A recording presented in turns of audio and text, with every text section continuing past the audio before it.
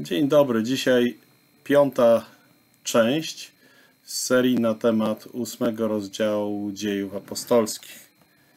I najpierw przeczytamy tekst.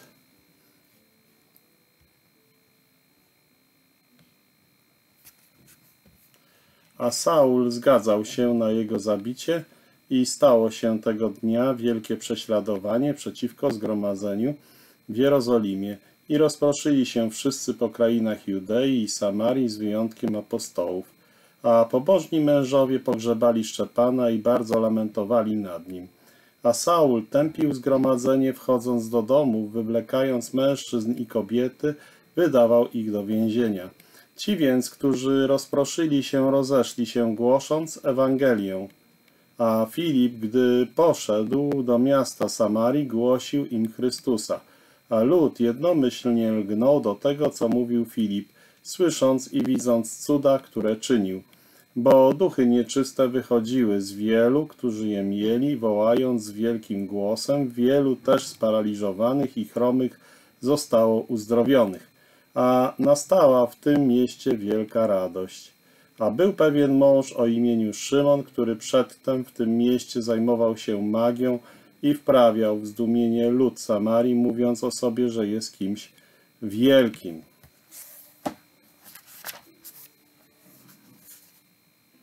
do którego lgnęli wszyscy, od najmniejszego aż do największego, mówiąc, ten jest tą wielką mocą Bożą. A lgnęli do niego dlatego, bo od dłuższego czasu wprawiał ich w zdumienie swoją magią. A gdy uwierzyli Filipowi głoszącemu Ewangelię o Królestwie Bożym i o imieniu Jezusa Chrystusa, dawali się ochrzcić mężczyźni i kobiety. Także sam Szymon uwierzył i dał się ochrzcić, a trzymając się Filipa, widział znaki i wielkie cuda, które się działy. Zdumiewał się. A apostołowie, którzy byli w Jerozolimie, gdy usłyszeli, że Samaria przyjęła Słowo Boże, posłali do nich Piotra i Jana, którzy, gdy tam przyszli, modlili się za nim, aby przyjęli Ducha Świętego, bo jeszcze nie stąpił na żadnego z nich, ale byli tylko ochrzczeni w imię Pana Jezusa. Wtedy wkładali na nich ręce, a oni brali Ducha Świętego. A Szymon, widząc, że przez wkładanie rąk apostołów jest dawany Duch Święty, przyniósł im pieniądze, mówiąc, dajcie i mnie tę władzę, aby ten, na kogo włożę ręce, wziął Ducha Świętego. Ale Piotr mu powiedział –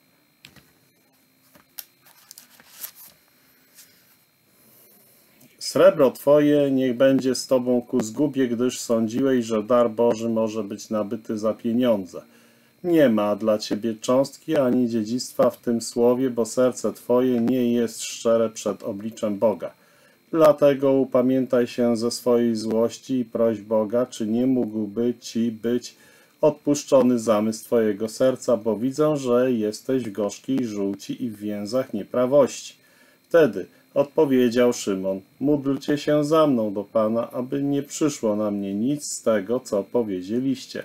A oni, gdy dali świadectwo i opowiedzieli słowo Pana, wrócili do Jerozolimy. Także w wielu miasteczkach Samarytan głosili Ewangelię.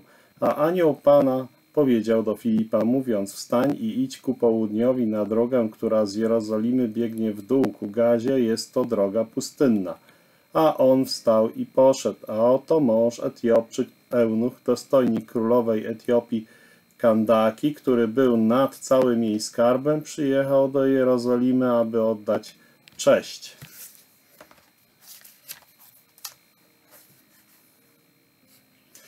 A gdy wracał, siedząc na swoim wozie, odczytywał proroka Izajasza i powiedział duch Filipowi, podejdź i przyłącz się do tego wozu. A gdy Filip podbiegł, usłyszał go odczytującego proroka Izajasza i powiedział, czy rozumiesz, co czytasz? A on powiedział, jak mogę, jeśli nikt nie wyłoży mi. I prosił Filipa, aby wszedł i z nim usiadł. A miejsce pisma, które odczytywał, było to. Jak owca na zabicie dał się prowadzić i milczał jak baranek przed tym, który go strzyże. Tak on nie otwiera swoich ust. W jego poniżeniu pozbawiono go sądu, a kto opowie o jego rodzie? bo zabrane z ziemi było życie jego. A eunuch odpowiadając Filipowi powiedział, proszę cię, o kim to mówi prorok, o sobie samym czy o kimś innym? A Filip otworzył swoje usta i zaczął od tego miejsca głosić mu dobrą nowinę o Jezusie. A gdy jechali drogą, przybyli nad jakąś wodę i powiedział eunuch, oto woda, co stoi na przeszkodzie, abym nie został ochrzczony. I kazał, aby zatrzymano wóz i weszli obydwaj do wody, Filip i Eunuch i ochrzcił go, a gdy wyszli z wody, porwał Filipa duch pański i Eunuch nie widział go więcej. Jechał więc swoją drogą, radując się, a Filip znalazł się w Azocie i przechodząc przez wszystkie miasta opowiadał Ewangelię, aż przyszedł do Cezarei. Więc jak widzimy tutaj następuje dość duża zmiana. Kościół, czyli zgromadzenie, składający się głównie z wierzących Żydów, teraz zaczyna rozprzestrzeniać się na pogan, ale prześladowania też się rozprzestrzeniają.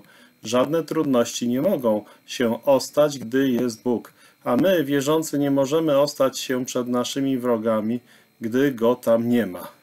Aż do męczeńskiej śmierci Szczepana Jerozolima była jedynym centrum i to możemy przeczytać w księdze drugiego prawa, 12 rozdział, 13-14 werset. Szerz się, abyś nie składał swoich całopaleń na każdym miejscu, które zobaczysz, lecz tylko na miejscu, które wybierze Pan w jednym z Twoich pokoleń. Tam będziesz składał swoje całopalenia i tam będziesz czynił wszystko, co Ci nakazuję. Teraz Izrael odrzucił Ducha Świętego przez zabójstwo Szczepana, więc poselstwo Ewangelii o Bożej miłości i łasce dotarło do wszystkich narodów.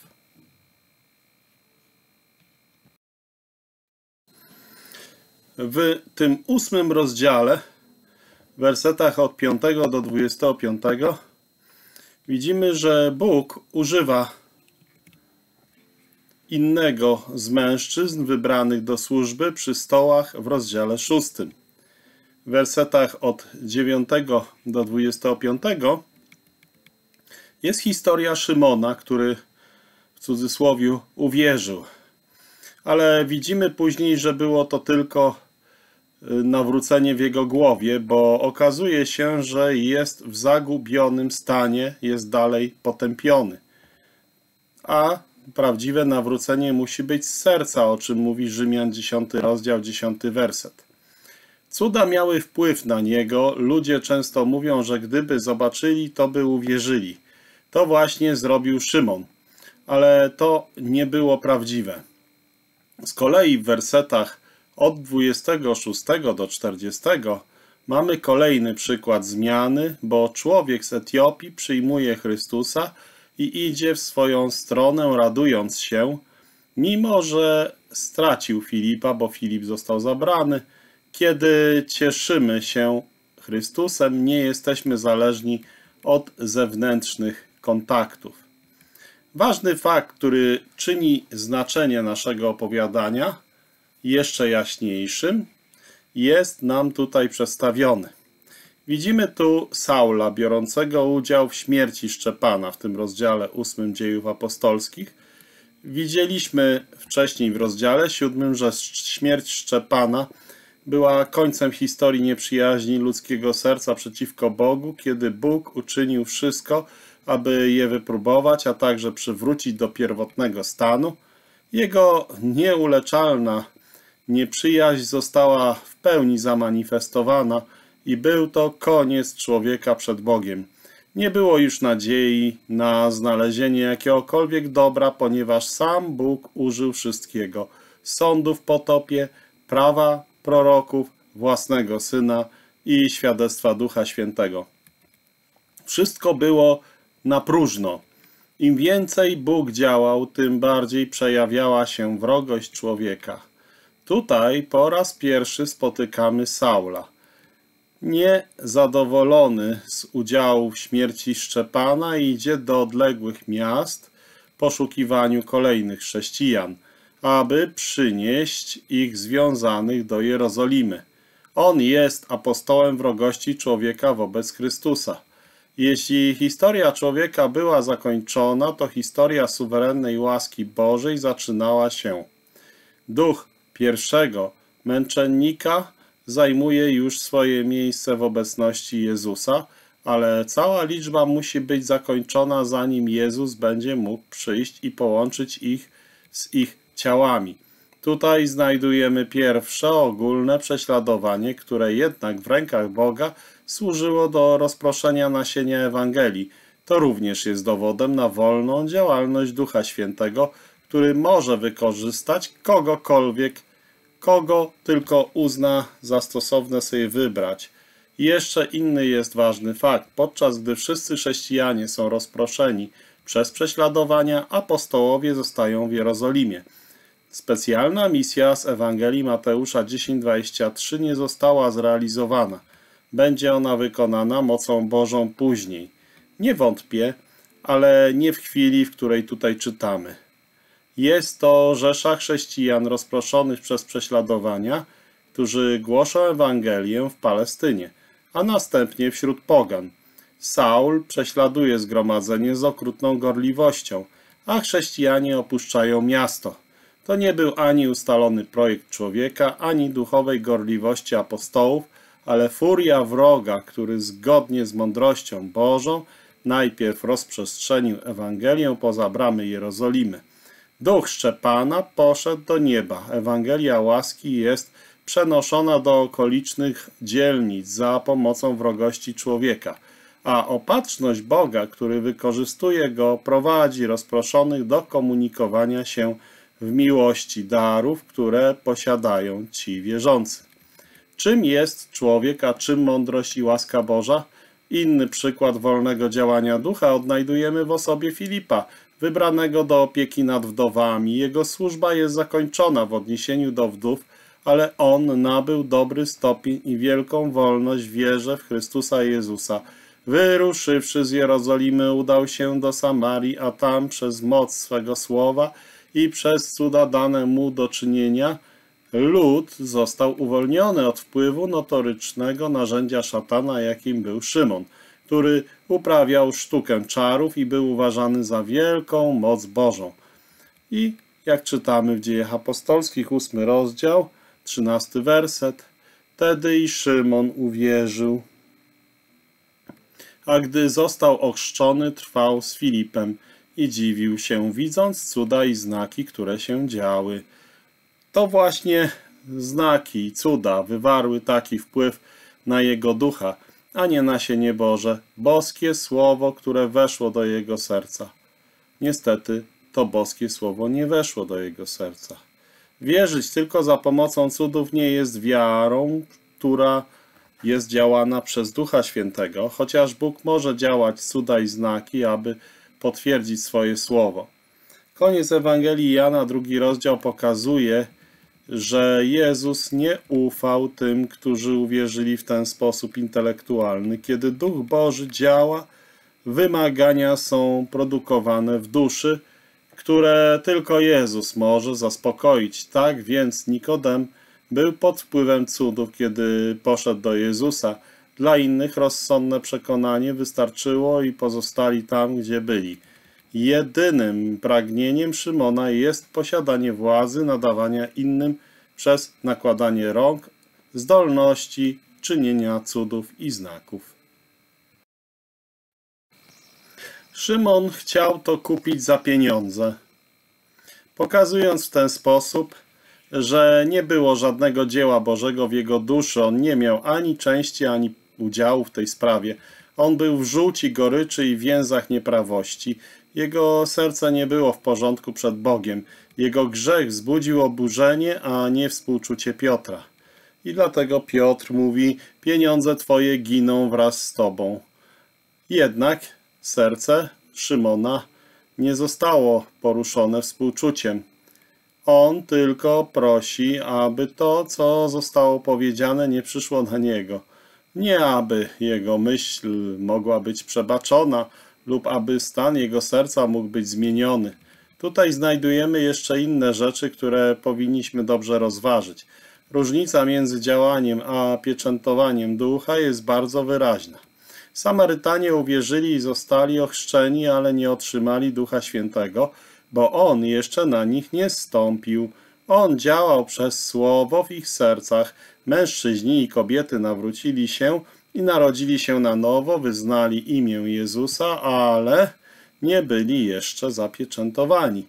Wtedy należało to w szczególny sposób do apostołów, aby nakładać ręce i udzielać daru ducha. W dziejach apostolskich 19 rozdział widzimy, że Paweł go udzielił. Był on prawdziwym apostołem.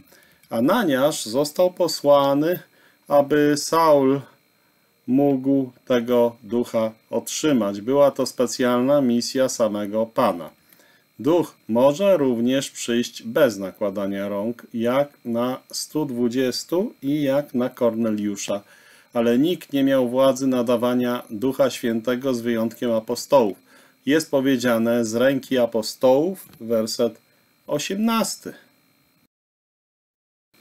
Jest także możliwe, że Duch Święty może przyjść na człowieka w ten sposób bez wewnętrznej pracy dającej życie. Pan nie ma w zwyczaju działać w ten sposób, ale nie brakuje takich przypadków w Starym Testamencie, jak Balaam, król Saul i inni, gdzie kwestia nawrócenia nie jest podnoszona, co pokazuje, że jest to zupełnie inna rzecz. W Nowym Testamencie nie znajdujemy takiego przypadku, ale rzecz jest przypuszczalna, o czym mówi nam 1 Koryntian 12 rozdział, Hebrajczyków 6 rozdział. A moc czynienia cudów z pomocą Ducha Świętego bez nawrócenia i życia jest wyraźnie przedstawiona przez samego Pana, o czym mówi Mateusza 12 rozdział 26 werset. Pan nie zaprzecza temu faktowi, ale oświadcza, że nie zna tych, którzy je czynili, co mówi nam Mateusz 7 rozdział. Także możemy porównać to z powtórzonego prawa, drugiego prawa, 13 rozdziałem. Przynajmniej Judasz został posłany, aby to uczynić. Widzimy więc nowy charakter apostolskiego autorytetu. Następnie wolną działalność Ducha Świętego, wyraźnie pokazaną w Filipie. Za jego pośrednictwem Ewangelia jest przekazywana do odległego kraju przez prozelitę, który przybył do Jerozolimy, aby czcić prawdziwego Boga. Człowieka, w którego sercu Słowo Boże posiadało pełną moc. Piękną rzeczą jest zauważyć w Filipie gotowość jego posłuszeństwa. Pozwolił się prowadzić woli Bożej. On jest przedmiotem uwagi w mieście Samaria. Godne uwagi dzieło zostało dokonane za jego pośrednictwem. Wstań, wstań, powiedział anioł pański i idź do gazy, która jest pustynią, co mówią dzieje apostolskie 26 werset. Ale nie powiedziano mu, co miał tam robić i udaje się tam natychmiast. Tam znajduje skarbnika królowej Etiopii. Duch Święty mówi do niego, zbliż się. Zbliż się i przyłącz do tego rydwanu. A on natychmiast biegnie do niego. Skarbnik czytał Słowo Boże, ale brakowało mu klucza wiary w Jezusa. Filip wsiadł na rydwan i głosił mu wiarę w Jezusa. Wszystko było zarządzone przez Boga. On czytał to, co było bezpośrednio związane z cierpieniami Pana, a mocą Ducha Świętego. Wyjaśnienie tego fragmentu zostało mu przesłane ustami Filipa. Eunuch, z sercem przygotowanym przez łaskę i mając już wiarę w słowo, staje się chrześcijaninem. Zostaje ochrzczony przez Filipa i idzie dalej, radując się. Godne uwagi jest to, że nazwa chrześcijaństwa pozostaje do dnia dzisiejszego w tym kraju bardzo skorumpowana, ale w formie, którą ten człowiek zaszczepił, oni wierzą co do zasady w dzieło Chrystusa, ale praktykują obrzezanie. Werset 37 nie jest autentyczny z tego fragmentu.